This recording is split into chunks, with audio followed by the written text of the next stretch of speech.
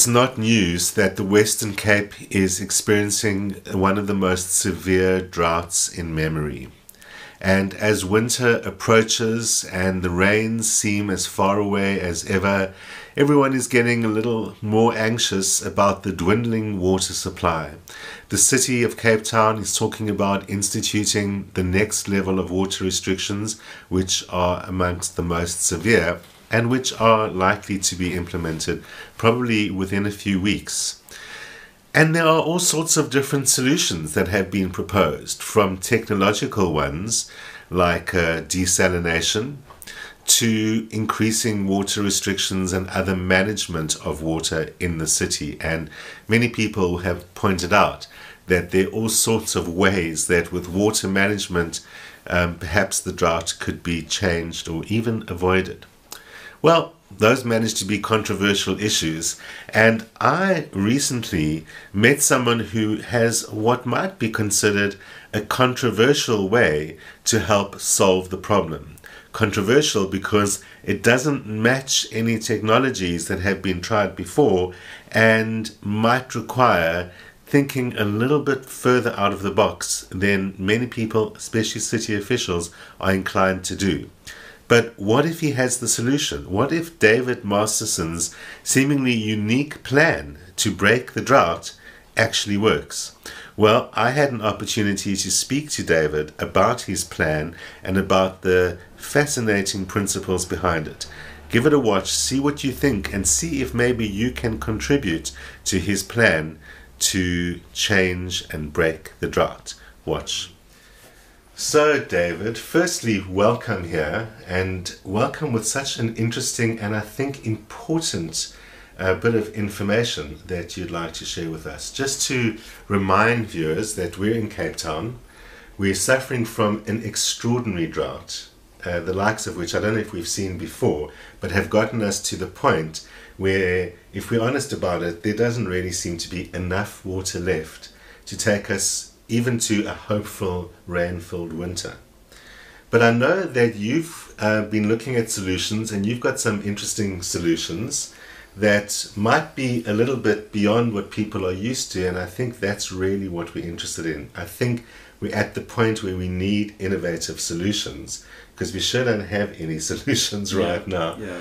So I want to start off though just by asking you a little bit about yourself. I mean, tell us who is David Masterson? Mm. Well, thank you, Rod. Thank you for having me on the show.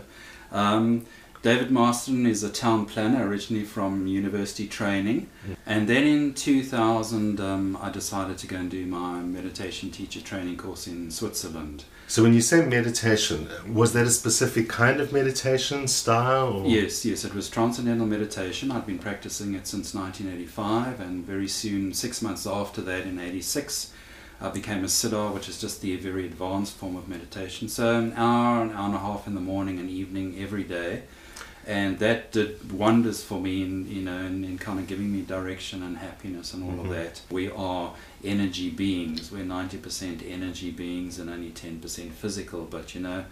Um, I think we've all gotten stuck in the physical realm just because of our Hmm. education, our training, our upbringing, the way society is controlled, um, and people are still, you know, really starting to try and find out what consciousness is, and it's really the key to everything. Consciousness is primary, matter is secondary. So, uh, Even even science managed to get there. It seems Yes. by Einstein's time with yeah, quantum mechanics. that's right. Yes. Um, so so your background was town planning, That's not correct. science per se. Well, no, town, town planning, town a little bit of architecture, Right. you know, sort of city building. But what it gave me was a very big overview. You become gamut. very sensitive to the interdependence of all these Oh, systems. So at a very young age, I already had, you know, that was being structured in my consciousness to, to look at the big picture.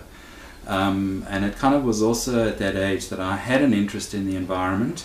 And I, for some reason, I guess I've always had a very strong draw to spirituality. And, Mhm. um, and that is why the meditation became such an in- integral part of my my whole life has been centered around meditation and that rooted value, being rooted in that value of that ability to keep myself centered. Uh, otherwise, I think I would have completely have spun out, you know. So you saw the value of it in your own life, and Yes. how even when you were in a regular kind of working world, yes. how that still managed to help you. Oh, absolutely. Yeah. So how did how did that lead to interest in drought or rain or those kind of Okay, in, in 1991, Maharishi released. Um, uh, well, basically, what he was doing was he re- he re-enlivened 40 different avenues of the Vedas because the Vedas is incredibly difficult to understand. It contains 5,000 books, and they're all commentaries on certain set um, topics and subjects, and, and people are muddled in all of this. Right. That's set Maharishi aside- Mahesh Yogi, Yes. the founder of TM. That's right. He set aside trying to um, simplify this. So there was an avenue that explored um, architecture, that was Vastu.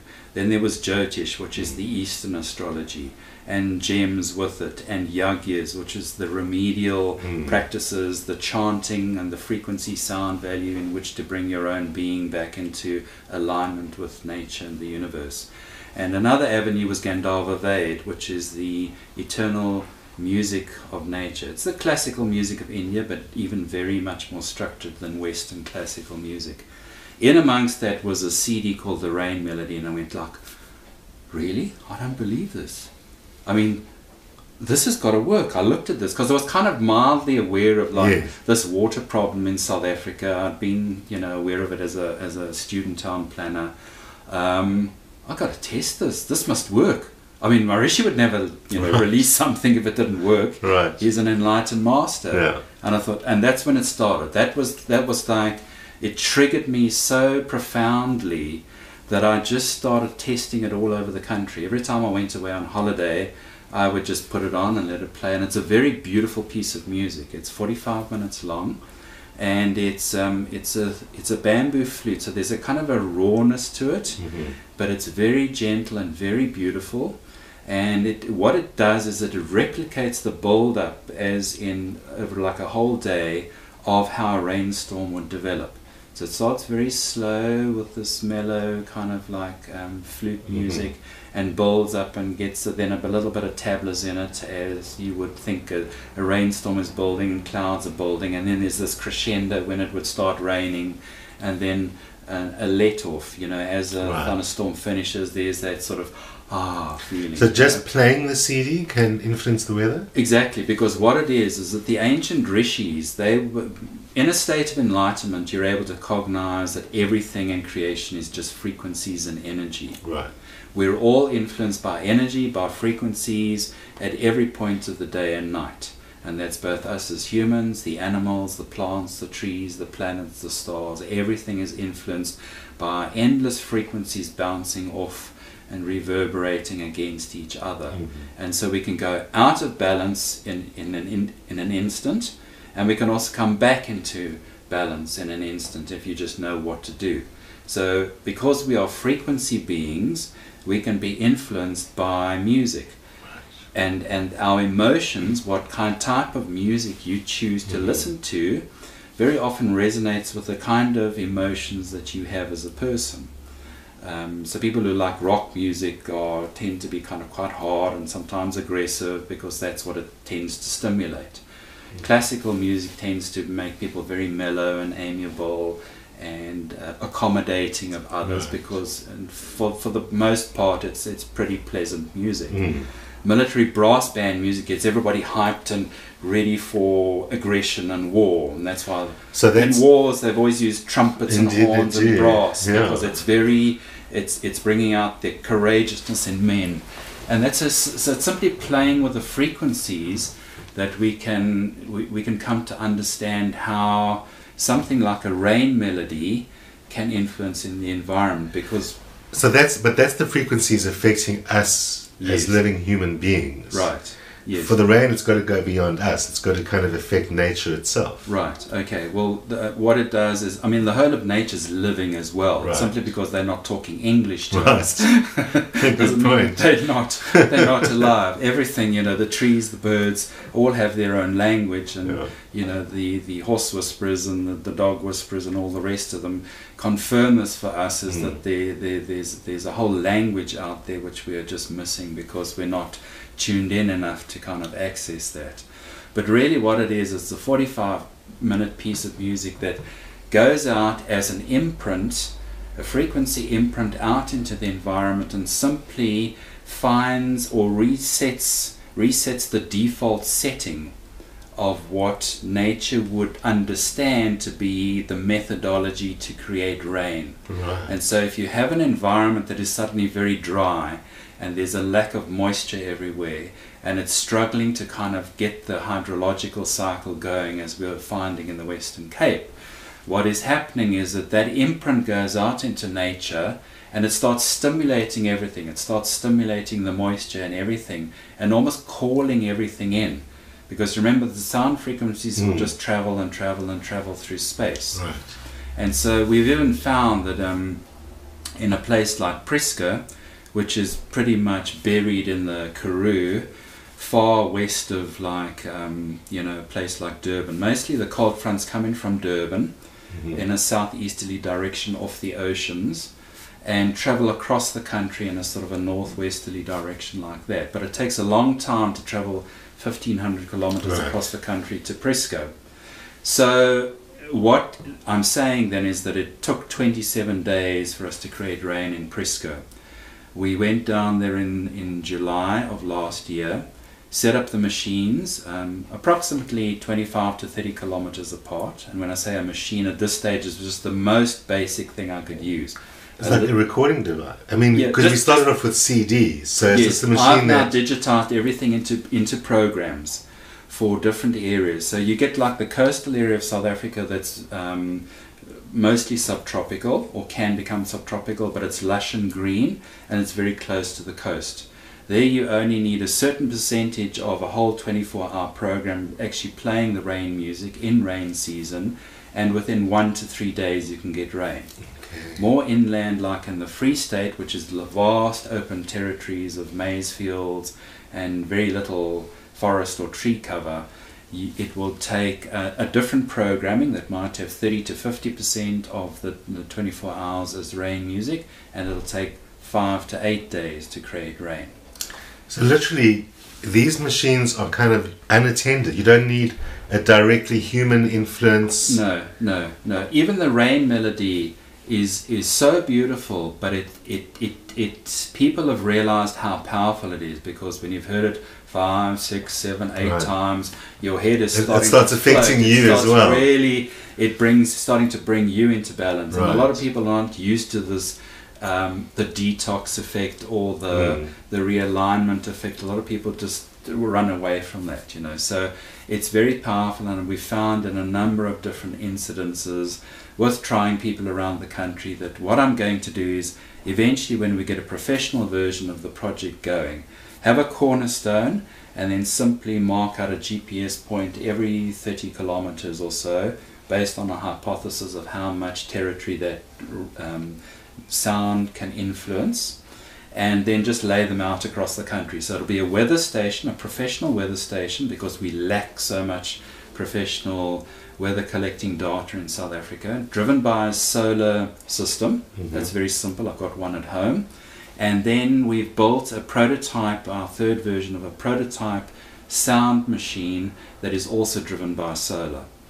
And so it, So it can sit there it can sit there out in, in the bush and just do its thing and not affect people or disturb them because the, the rain melody is probably um, the least offensive of all the, the music types. You know, if you if anybody's familiar with um, classical Indian music, Right. there's a lot of instruments that we're not familiar with. Yes, the and their harmonic scale is a little bit different. it's very different. Yes. Um, so, so it sounds fascinating. Has it been tested? I mean, have you actually set up machines somewhere that you can leave like that? Well, look, we've done. I've done. I've run five um, trials on my own, out of pocket, out of on my own money. They sort of hick little local um, programs. The, the problem is that I've been to ARC, which is the Agricultural Research Council in Pretoria, spoken to the particular division that deals with climate change and climate research. They still confounded about how to create an experiment that would links the sound frequencies and the um, resultant effect, which is the creation of rain and having rainfall. They're basically saying to me, look, you need two laboratory created tanks which can create an atmosphere, which you know is, is enough of a a, a, a mind. Uh, Yes. and there's a whole other a science getting involved. Yes, yes, you know, and you have one tank that doesn't have music and another one that does, and and you got to test it for ten years, and that'll probably cost ten to twenty million rand. Blah blah blah blah. All that n- normal standard scientific nonsense. Hmm. Meanwhile, here we're simply taking an indigenous tool or technique that was used five, ten thousand years ago on a regular basis to just simply play um, ever so often when it was needed, when there was drought, because they, under, they, they just understood the frequencies. The rishis understood the frequencies and can translate that into musical tones and give it to the musicians. Well, I mean, as I've experienced it, a lot of that Vedic culture is about using sound and resonance. I mean, Absolutely. you mentioned yagas, which are important in Vedic astrology to Yes. Change difficult patterns. Yes. But even more basic that everyone's got access to, and people often use without realizing, is chanting and mantras. Yes. So in yoga studios everywhere mm-hmm. and all of those kind of things. Absolutely. And I myself have used mantras definitely to effect change in my own life pretty easy, quickly and obviously. Right. And it seems to me that there's a core idea in Vedic culture that um, vibration basically created the world. Yes. So this, a vibration of sound Yes. created the world, which I think does exist in Western culture. Yeah, even in the Bible, the Bible starts with in the beginning, you know, the word was with God and was God and is God. God speaks in order to God create the world. Speech and language Yeah. and music, anything to do with the vibration that can come out of the mouth or an instrument, is frequency and vibration. That Yeah. created the world, that created the cosmos. We are vibrational beings, even if you can't see the vibrations. You know, we, we're physical entities that feel that we're separate from each other and Mm. from things around us. But essentially, the quantum physicists are all saying everything is frequency and energy. And we can influence ourselves through the right kinds of sounds and chanting and mantras, and there are also other things that can take us away in the wrong direction. So, so quantum physicists are responsive to these ideas. Oh yes, they are. They are. But it's very hard to find them, and most of them hmm. are, you know, in the research labs, Right. just you know, at the cutting edge of their own fields. They're not the decision makers out there in society that are assisting with funding or, um, you know, business angels or philanthropists. Yeah. Um, they need a different kind of explanation. Um, and, and so, yes, they do understand. Quantum physicists really do understand the whole concept here is that it's very easy to influence the environment with something like this. And it's quite ironic that we've had 40 different cultures around the world. Um, there's been the Slovakian cultures, a lot of the East European cultures, Middle Eastern, the Jewish people also had a rain dance. Um, you've got the Red Indians. Many of those tribes had their own rain-making techniques and sing-songs and festivals and rituals that they practiced in order to bring rain. The Mayans had it. Of course, the Aborigines, the Maoris in Australia had it, and most of our African cultures have it. Um, you know, um, but you talk to a white scientist, and it's like, oh no, we it's Still not just good enough because we didn't have it. because we, we didn't have it. So you've got to give me a scientific answer Yeah. answer on this too. In the in the trials that I've done, let me just explain two trials that I've done. Mhm. I got 15 friends in Joburg, all spaced apart as best I could, to take get a little machine, little mini hi-fi, Mhm. with just uh, we worked in an MP3 player just with the rain melody on it, and 15 people in Pretoria, and I said go, just put it in a room that you don't use and play it out the window, softly. It's not doesn't have to be. Yeah. We're not we're not disturbing the neighbors or creating rock concerts here. It's just you know normal TV volume or speaking volume. And when, within 10 days, we had it bucketing down in Joburg for four days. Wow. I, in my place in Joburg, had 636 millimeters of rain Wow. from that point in time until the end of March when Wow. they said it would only start raining. And pretty much every single season that I've lived in Johannesburg since 2002 has had a normal stock standard rainfall of 5 to 6 to 700 millimeters because I'm there with my machines.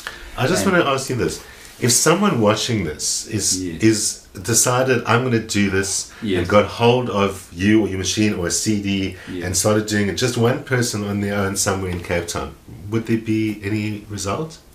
Um, it depends. There, uh, quite a number of people have picked up the rain melody and, and are doubtful. And so they play it and say, okay, well, now you've got to show me. It's almost like that's their, their attitude to the universe. Mm. And invariably, they get a, a sort of a mediocre result which, in which they can't really tell whether it was or wasn't. Right. Um, the other thing that we found through the, the trials is that we had two machines that were eight kilometers apart.